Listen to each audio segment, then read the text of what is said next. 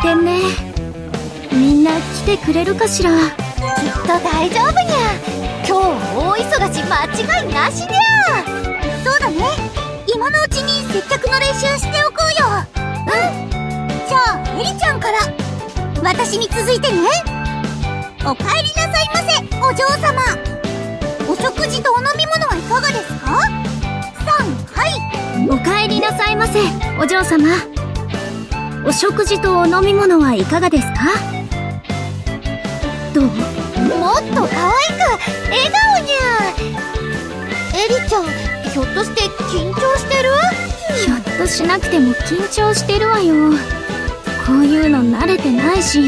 慣れてないからこそ思いっきりやって楽しもうよ